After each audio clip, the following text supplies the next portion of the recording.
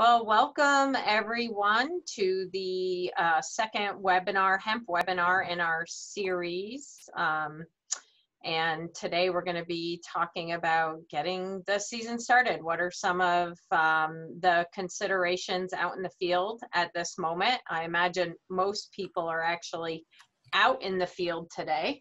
it's a beautiful day out and probably planting and, and getting the fields ready. So we are recording this and we'll put it up online to share and for folks to share with others. I know a, a number of farmers have emailed saying they haven't been able to make the webinars because it's been such great uh, weather in the field. So um, we will be posting these. Um, Susie, would you like to talk a little bit about our our risk management project before we get into the webinar sure. today? So in this project, we're um, focusing on education, particularly education about hemp recently being a crop that we can all grow legally. So we're covering all areas of risk. Last week we had a webinar on the Vermont new hemp rule. So if anyone missed that webinar, it is in recorded format on the UVM extension website. This week it's all about growing and production and irrigation. Then we have a couple more later in the month on disease on the 30th, and then August, sorry, disease and pests. One is July the 9th, the pest one, then July the 30th, the disease. And then towards the end of the summer, we have two more that return to the legal aspects having to do with hemp sampling and testing. Um, but I just want to take this opportunity to one, thank the project team, Catherine, Heather, myself, Susie Hodgson, and John, who's here to us, with us today and also to thank our sponsors, the Northeast Extension Risk Management Education made these webinars possible, where we can pull all this information together. So in this webinar, we're gonna try and answer most of your questions at the end of the presentation. But if we can't, we can capture all the questions and our aim is to provide guidance later in the season. So everything will be available to you in some shape or form as we go throughout the season. So over to you, Heather. Great. Thanks, John? Susie. Yeah, I want to introduce John Bruce, who's also on the call today. John has really been heading up the field research that we're doing on hemp and um, asked him to participate and jump in where he felt appropriate. Um, but again, as Susie mentioned today, we're going to really just be talking about things that people should be considering at this point obviously folks are in um, in the field and um, are already planting. Sorry i'm trying to share my screen and i'm sharing the wrong wrong thing. So it's a little bit late to um, be thinking about there we go you know the planning aspect. And really now we're in real time so we have to just be thinking about um, some of the aspects in the field right now that you're still going to have a little bit of control over.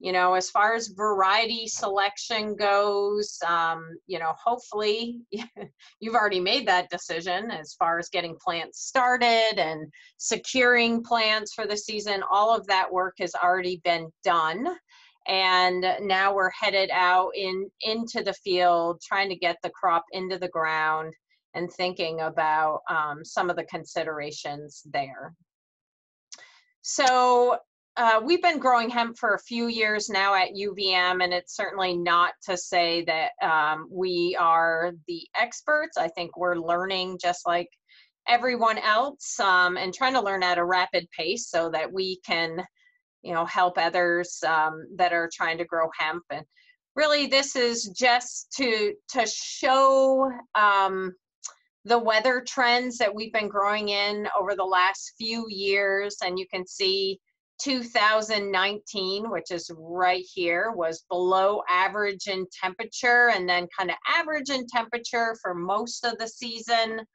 2018 was way above average as far as temperature goes, and 2017, for the most part, was below average. And in all of these years that were extremely different, we have been able to bring in a, a really great high yielding hemp crop. And this year is posing, you know, very different challenges, just like every year does.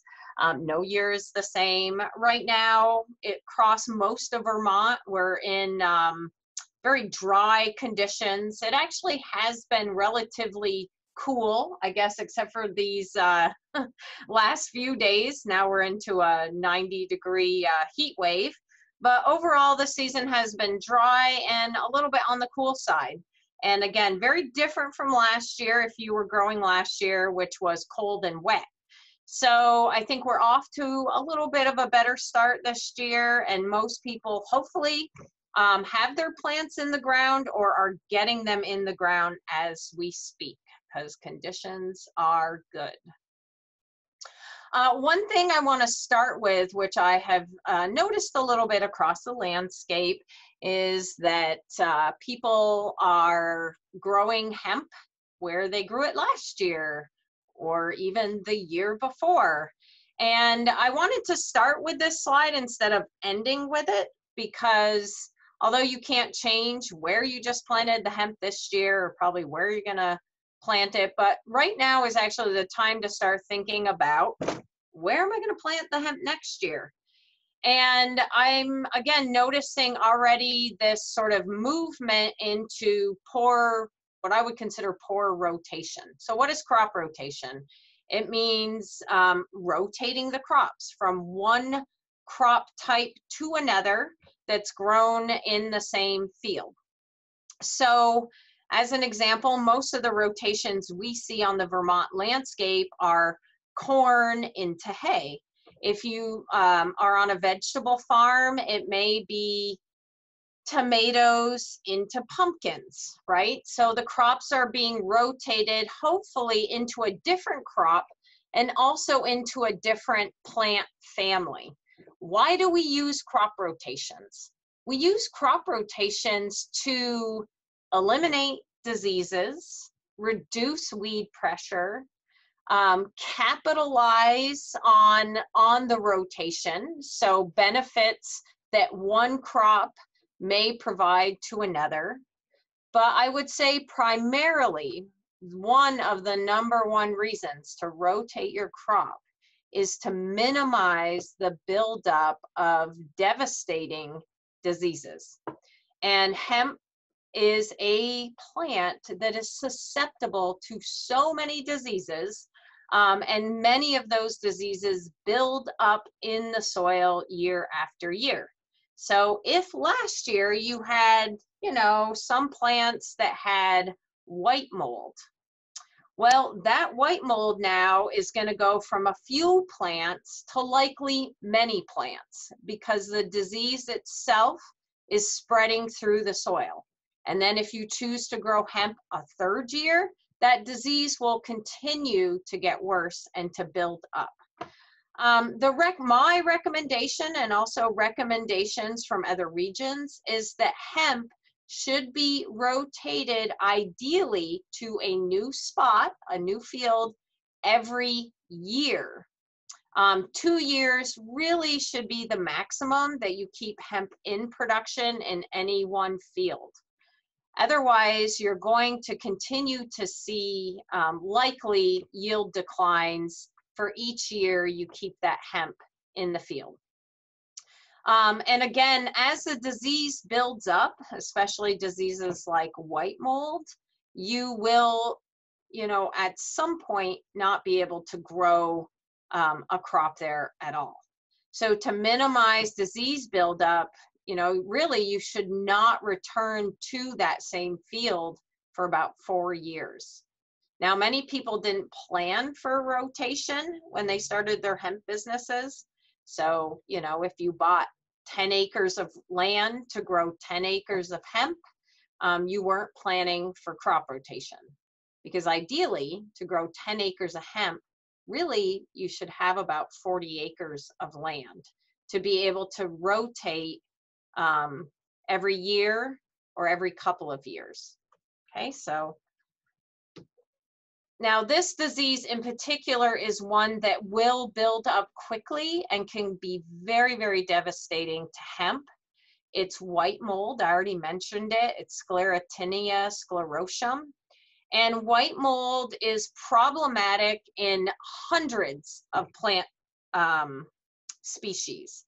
So any plant that you're growing that's a broadleaf, so not a grass, um, will likely be susceptible to white mold. So if you're rotating from hemp to beans, not a good rotation because beans are also very susceptible to white mold. Rotating from hemp really to some type of grass would be more ideal. Um, so again, once this white mold builds up in the field, and it builds up by producing these little black rocks, which is the overwintering body. Um, these black rocks can survive in the soil six years, 10 years. So again, once you have a lot of them from not rotating the crop, it is very difficult to grow a high yielding healthy crop. Okay. All right. So um, again, soil limitations, I've talked about these year after year after year with folks. And again, you, you have what you have, right? You bought a farm, you own a farm, it's heavy clay soil or it's um, sandy soil. You know, you're gonna try to grow the best crop for that soil type. But hemp itself um, does not like waterlogged soils. And I think a lot of people found that out last year trying to grow hemp when it was very wet. Um, and so if you have soils that are somewhat poorly drained, you really need to be thinking about ways to increase the drainage so that you have a better crop. And that can be in the form of, you know, even using just raised beds that a lot of people are using today to help drain that soil a little bit better. But again, you know, your best, most productive hemp will be on those soils that are 40% uh, or less clay and have really um, good drainage. Here's just a picture of some water stressed hemp. So let's talk a little bit about fertility. Many of you may have already added fertility to the soil, um, which is good if you're planting and you needed uh, potassium or phosphorus and nitrogen and lime. All of that um, should be added prior to planting, depending on the fertility source that you're using. And again, just to reiterate, hemp is um, uses a large amount of nitrogen, a large amount of potassium, and a smaller amount of phosphorus. Hemp also uses many micronutrients. And again, if you have a soil that is very depleted, uh, you need to make sure these nutrients get added before you plant. So let's take a quick look at this soil test. Um, and again, I just want you hopefully to have one of these. so hopefully you took a soil test well before you were going to plant. Um, if you didn't, you know, there's still opportunity to add nutrients. Um, and really the best way to grow crops is to know what's in your soil to start with, okay? Because you don't want to throw away uh, money by buying unneeded fertilizer you don't want to add fertilizer to the field that the crop doesn't need um, because an imbalance itself can cause issues with disease, pests, um, productivity issues in the plant. So here is a soil test that I just want to go through quickly and identify uh, if this was my field, uh, what I would do at this point. So you can see this field is low in phosphorus, low in potassium. And also, if you look down here at the soil pH, you can see that it is very low on the pH scale, right? So as far as pH goes, which is the acidity of the soil, you want the pH to be over six, okay? So a pH of 5.8 um, needs to be modified. You need to get the pH of the soil up over six okay? Um, the phosphorus here is low, and so isn't the potassium. And what this means is that if you don't add these nutrients, it is highly likely that the plant itself will be lower in yield will show some type of nutrient stress, again, by not yielding as much, not growing as tall or as vigorous or having as many flower buds or seeds. So these kind of nutrient deficiencies need to be fixed, okay? So you want your soil test levels to be in the optimum range. If you get a soil test back and it says optimum phosphorus, optimum potassium, optimum pH, optimum magnesium, then really you don't likely need to add much um, of those nutrients to the soil. All right, but in this case, there is a lot that needs to be done here. Now, phosphorus and potassium needed in these quantities. So this is 100 pounds of phosphorus and 140 pounds of potash or potassium. This needs to be added pre-plant. These quantities of fertilizer really should not be added later in the season because it's going to impact the overall yield and quality of the crop if you don't have them on the field early enough, okay? So these quantities, again, really needed to be added before you put those uh, plants in the ground. The lime, so limestone, it says here, um, needs to be added also, really, before you plant the crop. And why is that? Because lime takes time to react in the soil. Okay, so you want a little bit of time for the lime to react and to adjust the pH. And in this case, you can see if you add a ton and a half of lime, you can raise the pH to 6.2. All right, so taking a soil test is really important. In this case, if you went out and you, you know, added uh, like a ton of compost, let's say, a ton of compost is not going to meet the nutrient needs of that crop. Um, and you'll be disappointed at the end. You'll say, Why didn't my crop perform well? And likely it's because you didn't really give it what it needed. And it's really hard to tell what a crop is going to need if you don't take a soil test. Now, for those of you who are not familiar with soil testing, um, you can find more information on our website. Maybe Catherine can type that into the chat box for us. Um, there's lots of information on how to properly take a test and where to send it. Um, we don't really have time to talk about that today. And again, you can reach out to myself or John um, or Catherine to get that information. Now, your soil test also lists these micronutrients, iron, manganese, boron, copper, zinc, um, sodium, aluminum. Uh, and we generally say that micronutrients aren't commonly deficient in the Northeast. Um, micronutrients that we do see deficiencies of include boron and zinc. And in some rare cases, we also see deficiencies of manganese um, and other micronutrients not listed on this test. Where do we see micronutrient deficiencies? We see those types of deficiencies on soils that are very light textured, okay? So soils that are very sandy and do not have a his history of organic matter amendments. So what is an organic matter amendment? Cow manure, compost, um, other livestock manures, okay? So if you're growing on a dairy farm that's had a lot of manure amendment, likely you're not gonna see much in the way of micronutrient deficiencies, okay?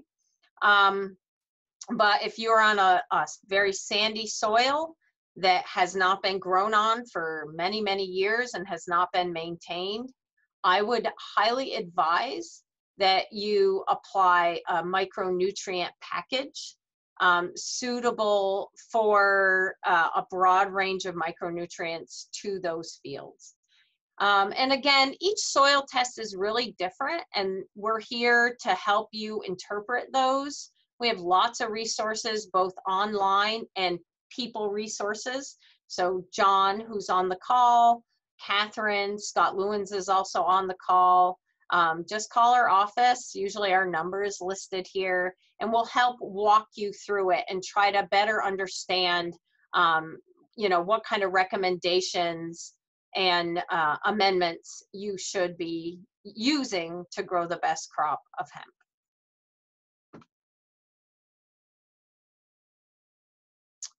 Okay, so let me see here.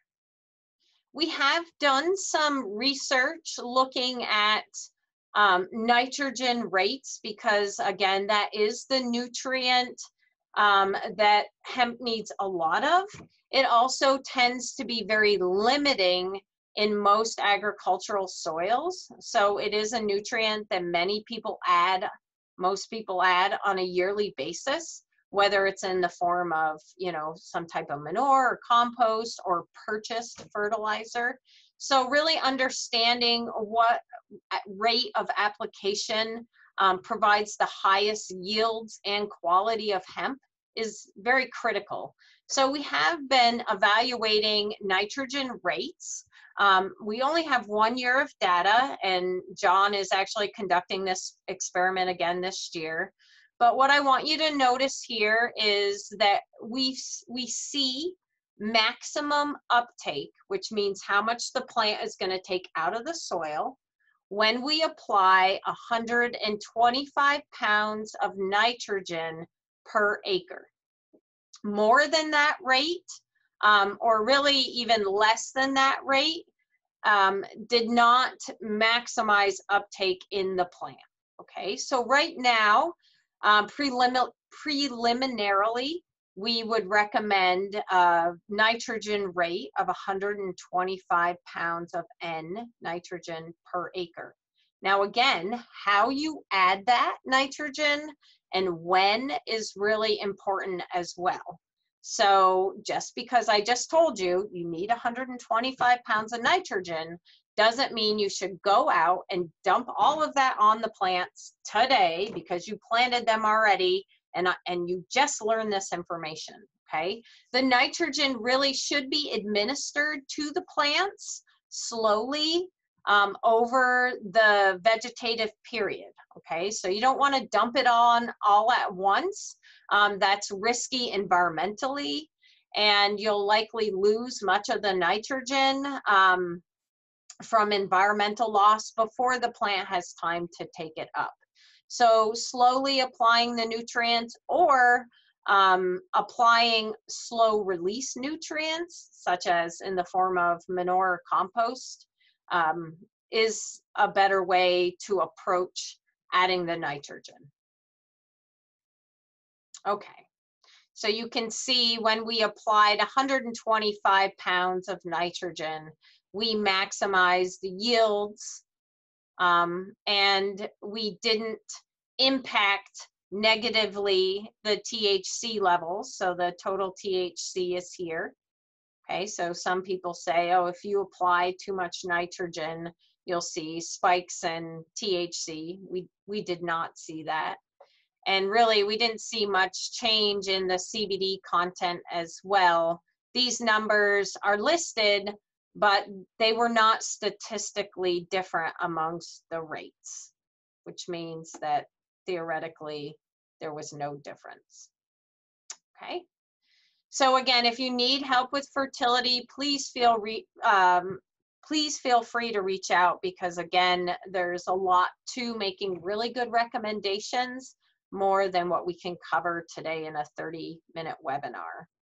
Um, another question that I've been asked frequently lately is about plant spacing. Again, most people are planting at uh, five by five um, plant schematic where the plants are five feet in the row and between rows. This is very common to maximize, you know, plant size. But we do have many people that are moving to autoflower varieties that are planted closer together Auto flower varieties are generally one to two feet apart because they grow much smaller um, and to and over a shorter period of time. So to maximize yield, um, they need to be planted closer together. So again, generally most people are at five by five still, which is perfectly fine. Good for airflow, reducing disease, maximizing per plant yield. Um, but as we move into planting with uh, equip, um, planting by seed and planting autoflower varieties, the plant, uh, plant spacing is being reduced. Okay. All right, so there are some benefits to a, a smaller plant spacing, which in this one by one um, plant schematic, you can see the per acre yield is much higher than when we're planting in a five by five planting schematic. And again, there's many more plants out in the field. Each plant yields less, but because there's more plants per acre, the amount of yield goes up on a per acre basis. The decision on plant spacing really has to take into account your market, the type of variety that you're growing, um, the type of harvest equipment that you have, uh, the type, the level of disease pressure, and you know the variety that you're growing. So I can't really say definitively that everybody should be planting, you know, five feet apart or three feet apart or one foot apart. It really depends on a number of factors but I will say that hemp can be grown su successfully um, with many different plant spacings. So really ultimately it has to do with um, some of the factors I was talking about, you know, your market and the type of equipment you have and disease pressure. Okay. I'm going to skip ahead here.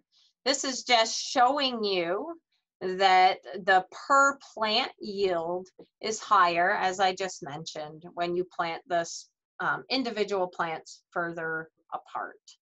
Okay, um, but when you have one by one spacing, the amount of yield that each plant has is pretty low, but there's more plants. So ultimately, if you have acres and acres and acres, you'll have more yield.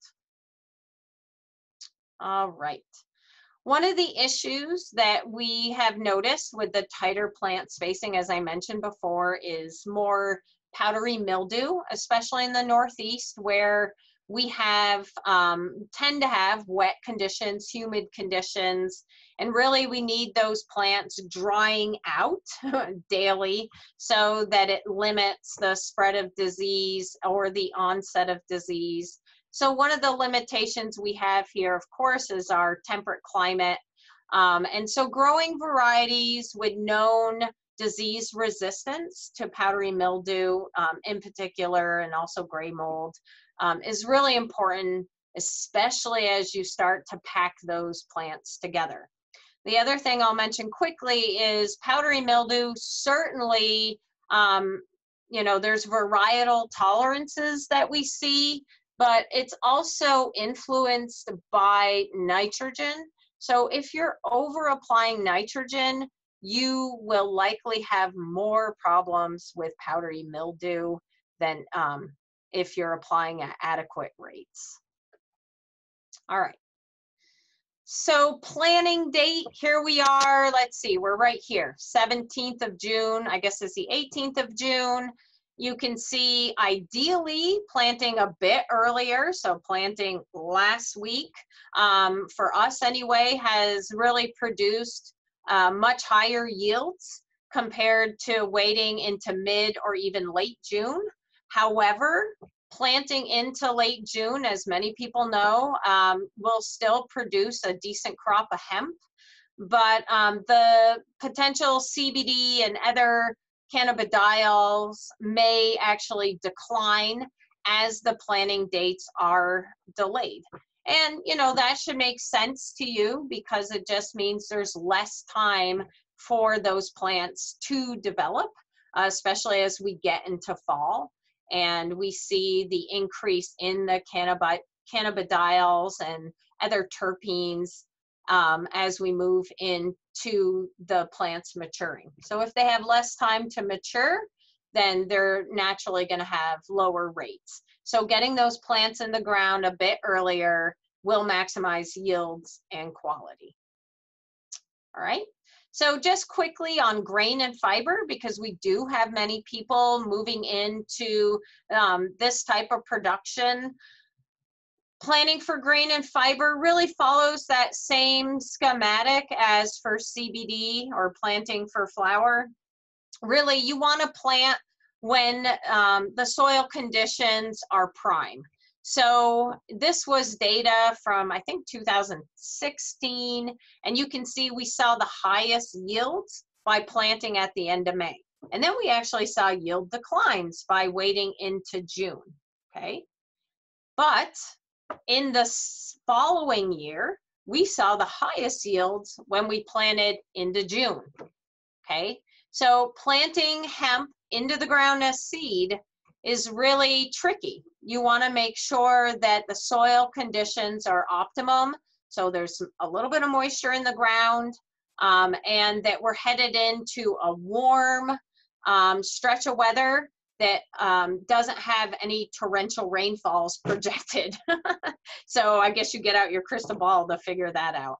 But really, the take home message is we have some flexibility in the planting date of hemp. There are some trade offs, of course, but you just really want to get the hemp in the ground when the conditions are optimum if you can, and that can be at the end of May, well into um, the end of June. So we do have, you know, some time that we don't always have with some of our other crops.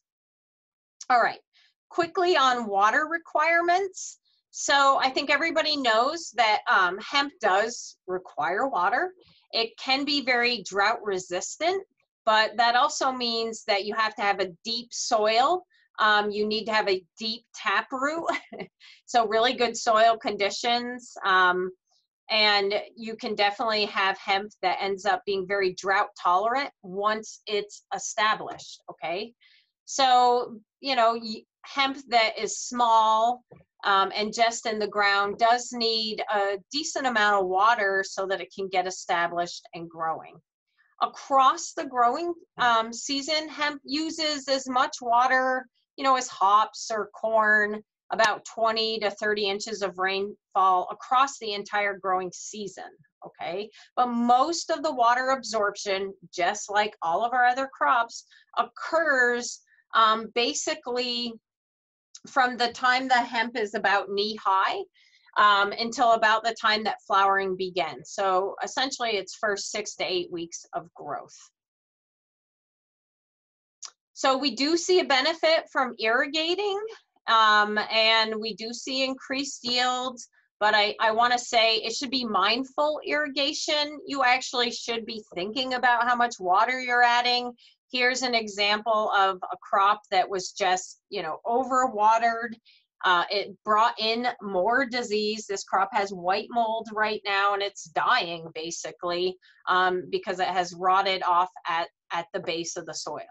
So we want you to irrigate, but we want you to think about um, how much water you should be adding on a weekly basis. So I'm going to give you a few tips here, um, and this is on our website, and we can um, maybe do a blog post on this so everybody has it handy.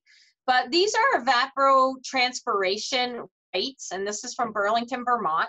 So basically, this is how much water is being um, moved, you know, from the ground up into the air based on heat. So you can see that evapotranspiration in January is pretty minimal. And in Burlington, it's the highest in July, right? So this makes sense. It's when it's the hottest and, and sunniest. So we have a lot of water evaporating from the ground into the air. So this is when your water demand um, for your crop is going to be the highest as well right? So over time, when you plant in May and June, the crop needs some water, but not as much as it will need in July um, and into August. So we use these evapotranspiration rates to actually figure out how many, how much water your plants are gonna need. Now you can do this very scientifically and you can measure evapotranspiration and figure out how much water you're losing on a daily basis, a weekly basis, um, and figure out how much water you need to be putting back on the ground. But I'm just gonna give you the quick and dirty. So let's start here. We're in June right now and roughly your plant, one hemp plant needs about 18 and a half gallons of water each week, one plant, right? So you can extrapolate this out to however many plants you have. So if this week we didn't get any rainfall, then you should be giving your plant 18 and a half gallons of water, each plant, okay, to have enough water to um, grow properly. Now, if we get an inch of rain, you're going to want to subtract that off of the amount that you would give that crop. Okay, so I did a little example down here, and this is for July. So you need 19.79 gallons of water per plant every week. Um, we get an inch of rain, okay, and we multiply that by the number of gallons of water there are in an inch of rain, which is 27,000, times the acreage of hemp. Okay, so in this case, I'm only watering one plant. And then it calculates how many gallons I need to give to that plant minus the rainfall. All right, so if I got an inch of rain, now my plant only needs four gallons so you don't have to water as much that week. All right, so again, this is just a quick and dirty um, because I know a lot of people have questions about like, how long do I run this irrigation for? How many gallons of water should I be giving these plants? This again is just, you know, a little bit of quick math to help you feel better about what you're giving those plants. Now, as you can imagine, you know, these next three, four days, there's going to be a really high rate of evapotranspiration. And what we're seeing leaving the ground is far greater than, than normal. And so those plants are going to need some extra water. All right. Okay, so I'm already running out of time. Whoa, way out of time. Uh, and I'm almost done anyway. So we are getting a lot of questions about cover cropping and what to grow between the hemp rows. So the hemp's in the ground, now what do I do? Well, there are lots of different cover crops available and people get really excited about some of the fancy mixes they see out there. I get emails about, oh, should I be growing sun hemp or cowpeas or sunflower or buckwheat?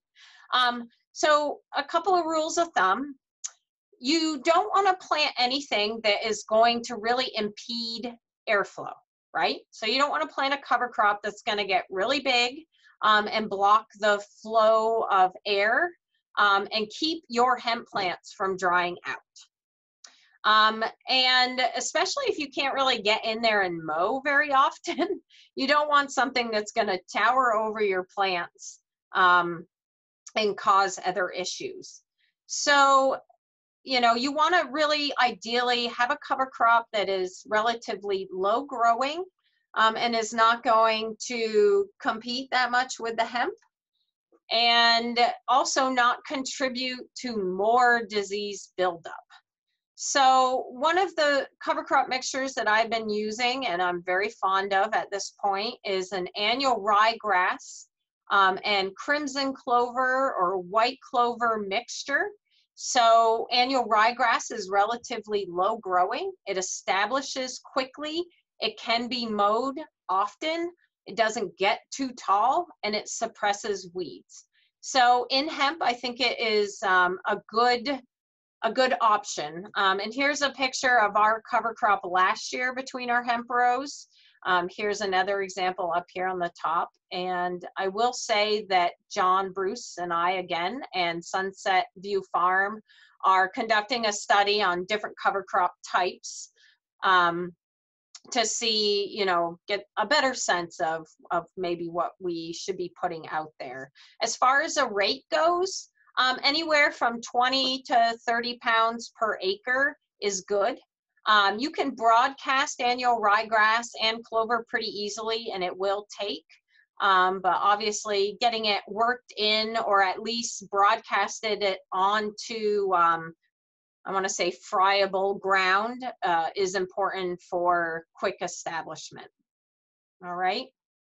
And lastly, I'll end on corn borer. You should be thinking about this now. Um, you should, this was a huge issue last year, not to say it will be this year, but you shouldn't bank on it not being an issue. Um, you should be getting some traps, some pheromone traps out into the field, monitoring for the corn borer flight. The traps help to catch some of the males um, and eliminating one of the um, sex of the species will reduce breeding. So traps can help you monitor when the pest is coming in, but it can also reduce the number of males. And then once you see that the corn borers are making their way into traps, um, it's really important to start thinking about um, how bad the population is um, and, and what you're going to do about it. So are you going to do nothing because the population is low? Are you going to try to spray some type of organic product that's approved, of course? Um, are you going to release beneficial insects? Um, people are already releasing beneficial wasps, trichogramma wasps. Um, and so I think that's a good idea. We started releasing a couple of weeks ago to, um, you know, get the populations as they're coming in so these are options, but again, something you should be on the lookout for now. Some different photos. This is in corn and in hemp. Okay. These are the traps. You can buy them at a number of different places.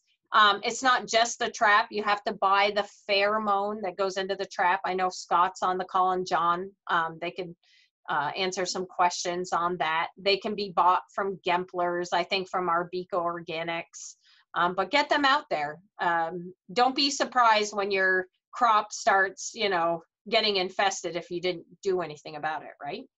Um, and then the trichogramma wasp, same thing. There's a number of places you can get, though, get those if that's the direction that you go. We are almost finished with a little fact sheet about this, and so hopefully we'll have that up to provide more guidance. So I want to um, end on that. It's supposed to be short webinar. I went over a bit, and I think we can take some questions. And John and Scott, um, you know, please feel free to pipe in as well.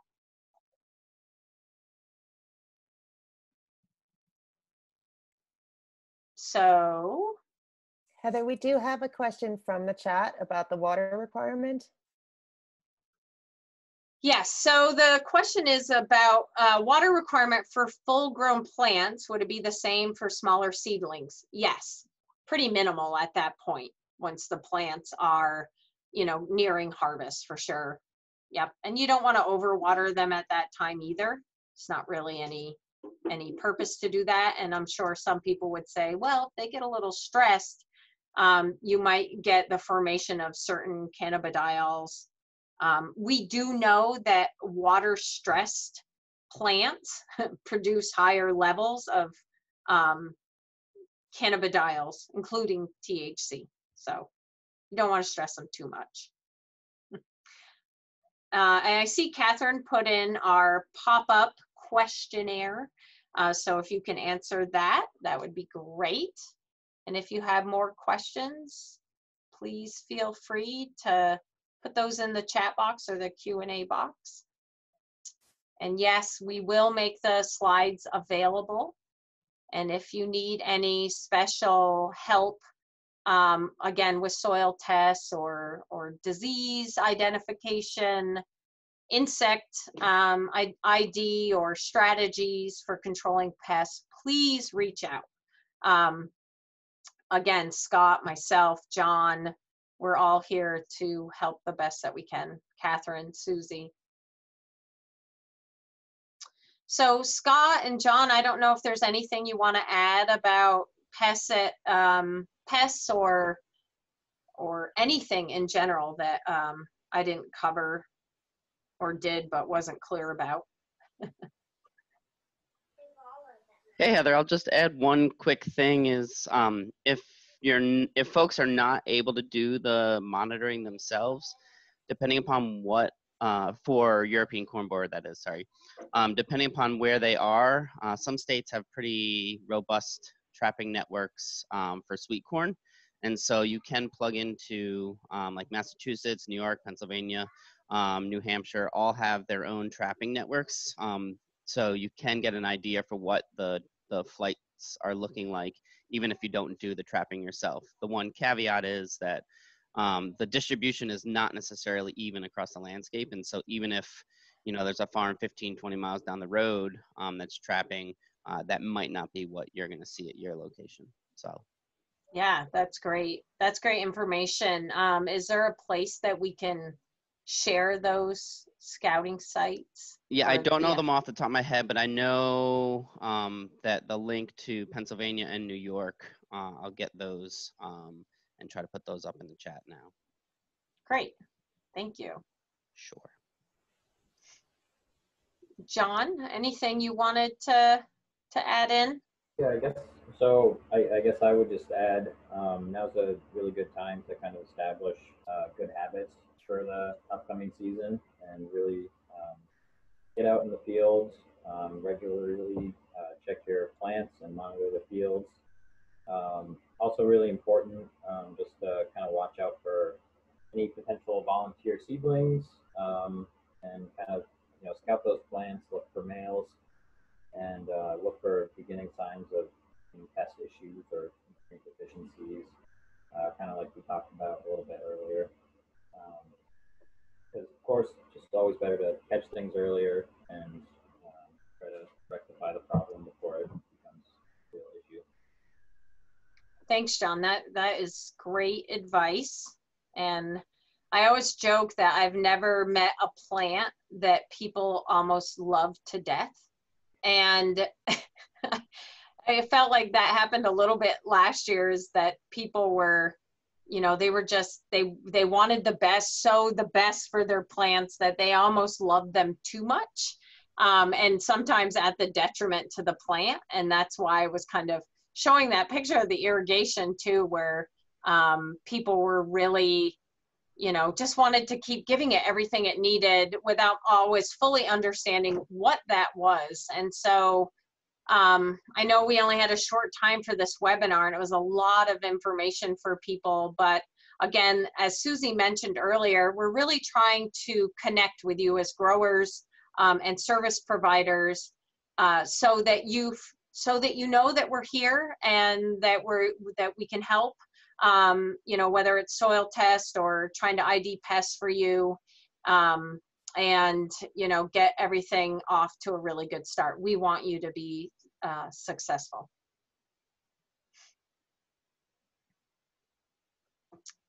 Great.